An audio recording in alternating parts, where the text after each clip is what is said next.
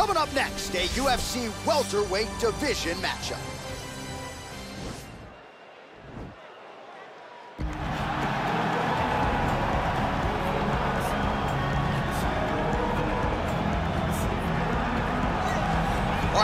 Is, one of the more prolific takedown artists in the UFC at present. And when you get some praise from Daniel Cormier when it comes to your offensive takedown game, you know you're doing something right. And we talk about wrestlers and judo players and grapplers, but this guy just combines all of that.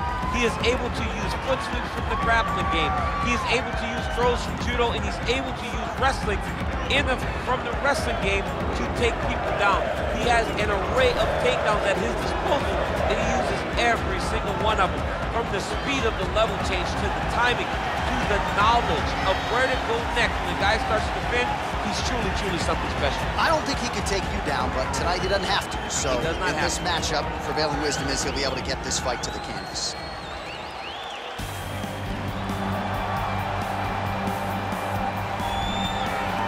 Probably trot out the term well-rounded in modern-day mixed martial arts more than we should, but this fighter certainly fits the bill. Oh, 110%. He can do everything inside the octagon.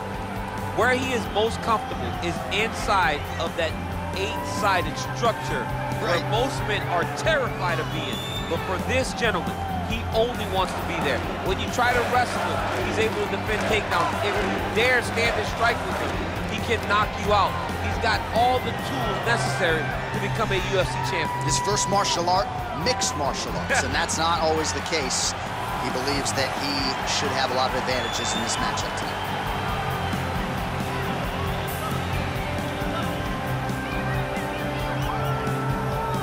Our tale of the tape for this welterweight fight.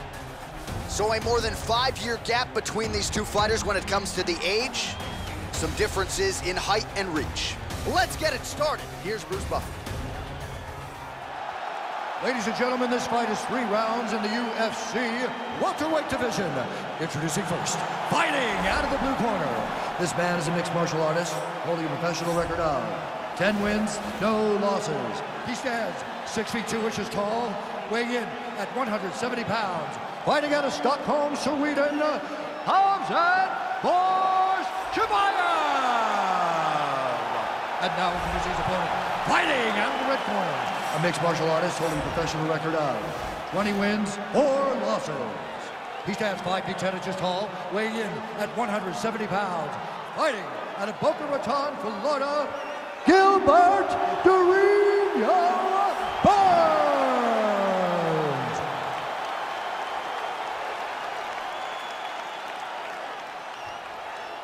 And when the action begins, our referee in charge, Eve Levine. The veteran Eve Levine draws the assignment here. You ready? You ready? All right, so here we go, I can barely hear myself think in this arena right now. Two of the most dominant, well-rounded fighters in this division. I mean, these guys are the best of all of mixed martial arts. They can do everything when they're locked inside of the octagon. I'm so excited to watch the highest level of MMA on display tonight. Well, he's got the reach advantage. You might as well use it. Nice job there to find a home for that jab. Connection with a punch there. It's hard to recall a time in the past that his boxing looked this sharp. Never looked this good. Good series of punches by him there. He has certainly had no trouble finding the range tonight. He is finding the target with everything he throws. He's mixing it up beautifully. Got the single collar tie. That shot is blocked by Burns. Well, he told him potentially a critical takedown here. All right, so you got to be careful playing on the ground with this guy. You don't want to mess around for too long. Strong bottom work here, staying busy. All right, feet on the hips here. Working off of his back here. Looks like he may try to hip escape. The ground and pound has been there all night.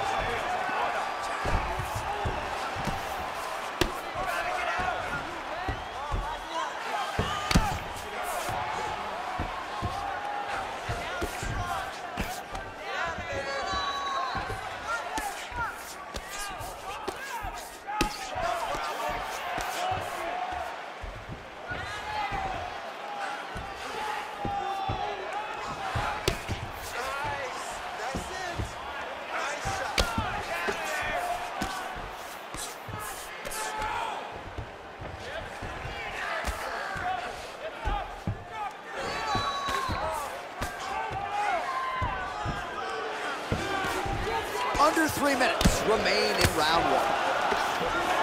Oh, man. This ground and pound is good. Probably my favorite striking realm in MMA, and he's as good as it gets. The problem is the opponent is not controlling his posture. He's allowing his opponent to get up, and when he does, he creates this space to land these beautiful ground and pound combinations.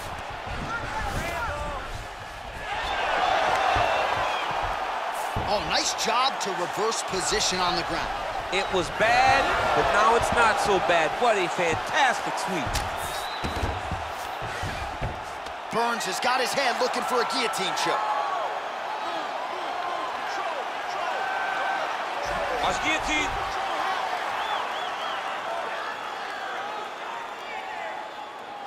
Oh.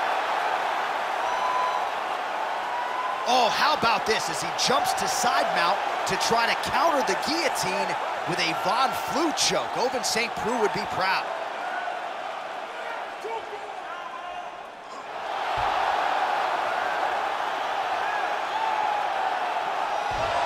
Wow.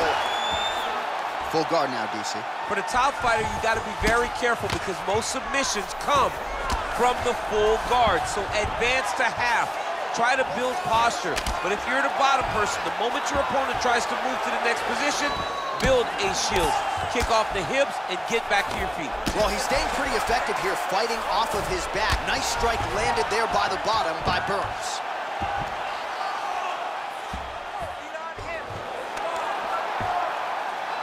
Elbow lands for him.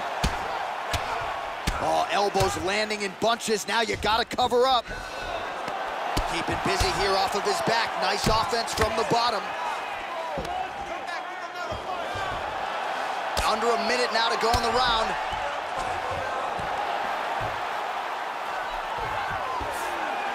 Lands a strike now from the bottom. Nice work there by Burns.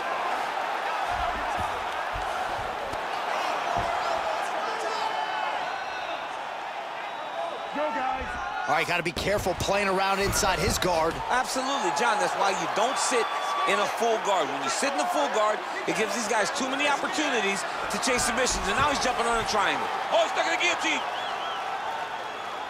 Oh, we're getting a finish here. Oh, countering, it looks like with a Von Flue choke, or maybe we should call it the OSP now, but trying to get out of the guillotine by submitting his opponent. Incredible.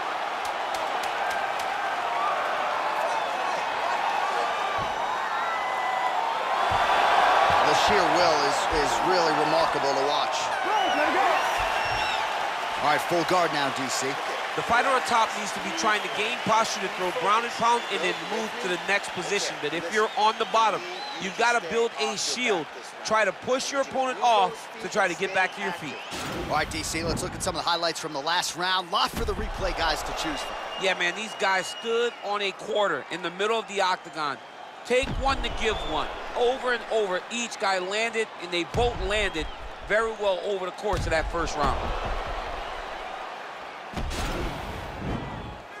You ready? You ready? All right, round two.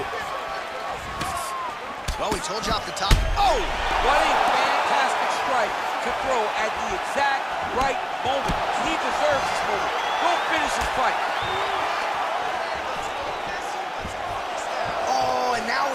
slams him to the ground. A beautiful single leg takedown, lifted him in the air, and put him down. All right, he engages in a single collar tie here. Oh, now going to the judo throw, and he ends up in side control. A lot of options for him here. Yeah, he can either go ground and pound or he can chase submission. All right, north-south position now, DC. We'll see how he chooses to advance from here.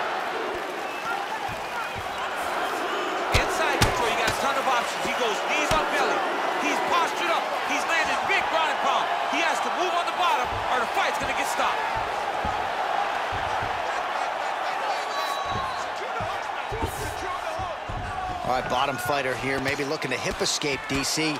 Oh, tagged him with that right hand. What a strike that was. What a strike that he is landing over and over again. His opponent will need to make some adjustments. Crazy accuracy and efficiency with these ground and pound strikes here. And if you're the opponent, you've got to intelligently defend or the referee's going to stop You fight. gotta defend, but you can see him now starting to gain posture and the intensity at which throwing these ground strikes is starting to improve. It's starting to elevate because he knows that he can get the finish. Oh, reversal here, DC. What a way to switch the position. Fantastic movement by the bottom fighter.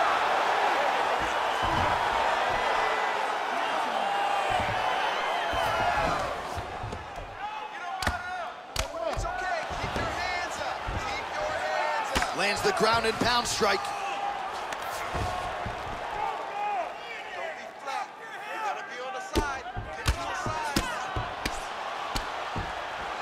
Right, so pretty good damage here with the ground and pound. Nothing superficial about these strikes. They are intending to harm. Oh yeah, he's landing very accurately, and he's landing to get damage on. Well, the ground and pound has been on point tonight. Good work here by Burns. He's putting him in exactly the positions he needs to be in right now. He's able to relax here. And he understands, being a veteran of so many fights, that as long as he's on top, he's winning. He feels like he's winning here. Pretty good work with the ground and pound here by Burns.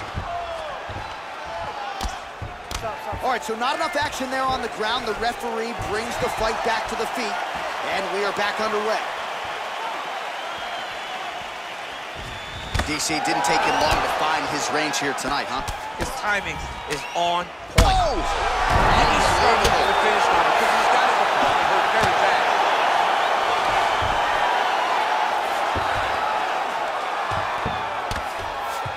time these guys come together, man, you just hear the, the punches and everything landing. Both, both very powerful, very, very explosive.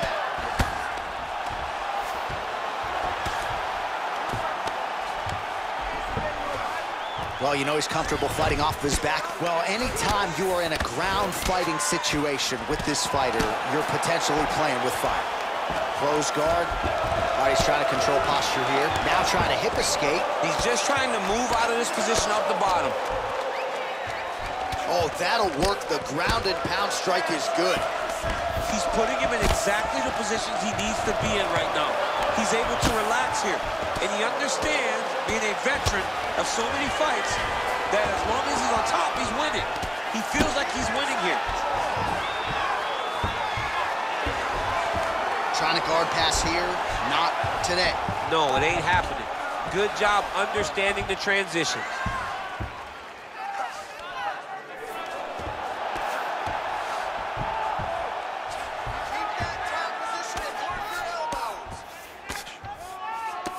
Forty-five seconds remain in the round.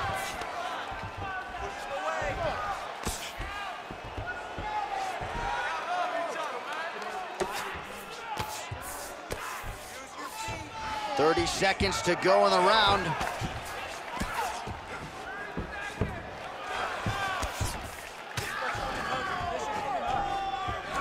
Twenty seconds left.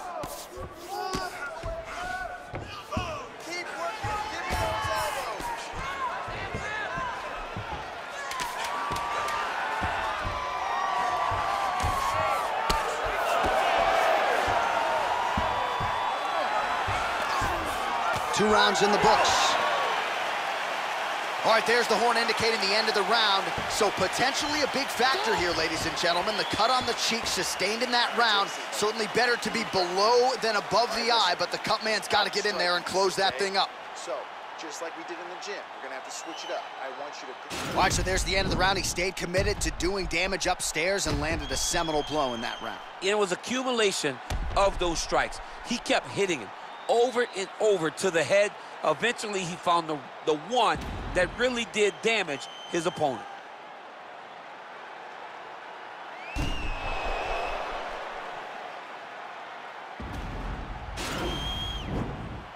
Are you ready? You ready? Third round underway. Look at him whip his hip into that kick. All right, he'll engage in a single collar. Oh, nice job Good punch lands. Blocks that kick to the body. And they separate. Straight right, he misses. That right hand hurt him a little bit. Well, we talked about that reach advantage as you see him land the straight punch there. Great job using his length in that situation. And a nice job at least staying upright on that. Quick level change now. He went single into a high crotch. Oh, he's taking his knee for a ride. Oh. oh, my God. He switched the lock to a high crotch, rotated him, and took him for a ride. That was a big takedown.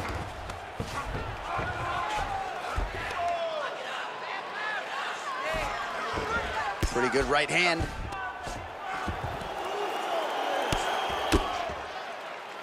Oh, the ground and pound strikes continue to rain down. The opponent better move out of harm's way or the referee's going to stop this. He better start to move, and when his opponent starts to posture, he needs to put his feet on the hip, push him away to try to escape this very, very dangerous position.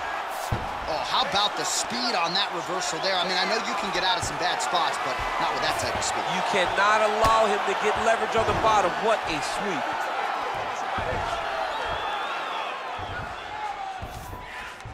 All right, so inside the open guard of his opponent. You got to be careful playing around for too long here on the ground with this guy. He loaded up on that right hand, too. Burns is looking to pass out of the half guard here, maybe looking for side control. He's denied. Three minutes now to go in this one. Oh, really nice work to keep busy off of his back as he lands some more offense here from Bob. Burns looking to pass into half guard here, but he's denied. Oh, well, both fighters pretty comfortable on the ground, DC, but you got to be very careful hanging out here for too long if you're his opponent.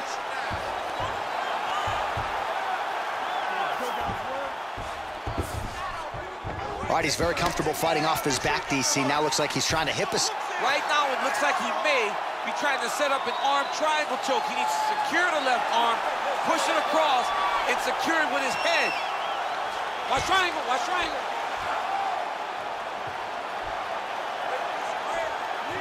There he is, he's moving to the finishing position. Now watch, he goes parallel right next to his opponents when it's time to finish. Nicely done. Trying to recover full guard there. Nice hammer fist.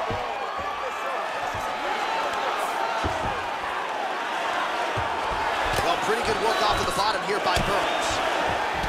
Some big punches raining down here, picking his spots well, and hasn't chosen to engage his opponent on the ground necessarily, posturing up and, and making these shots count. I mean, why would he? He's having so much success doing it in fighting in this exact same manner that's leading him to be ahead in the fight right now.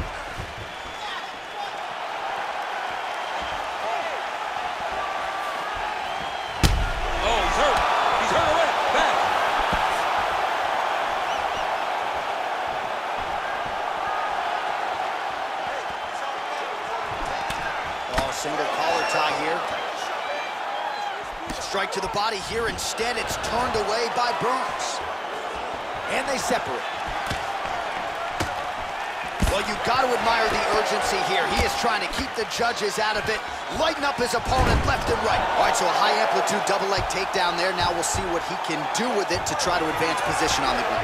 You knew that he was going to attack the double because he's such an explosive guy. He got it on the hips, finished the shot very quickly. Fantastic job. I love watching this guy move on the ground. Another nice transition there. Such a high-level grappler. You don't see that very often. Right, a good ground and pound by him here, certainly staying busy, and not just busy, but effective. You can just throw punches to keep the referee off you. This guy is throwing punches to be effective, to throw damaging strikes. He's doing a fantastic job. Oh, the ground and pound is there. 20 seconds to go in the fight. Lands with the ground and pound here. Final 10 seconds of the fight. I mean, how many can he take?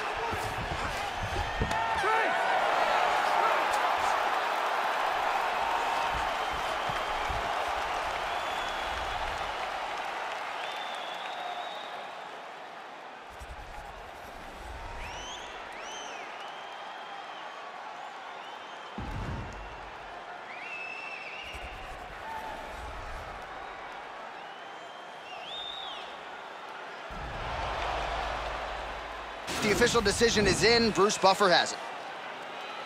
Ladies and gentlemen, after three rounds, we go to the judges' scorecards for decision. All three judges scored the contest 30-27, declaring the winner by unanimous decision, Khamzat Bourjigmana! All right, so there he is. The celebration is on. He tried to leave the judges out of it tonight, was unable to do that, but a pretty dominant effort nonetheless. He's your winner by unanimous decision. And you gotta feel good about that. You gotta feel good about dominating every aspect of a fight.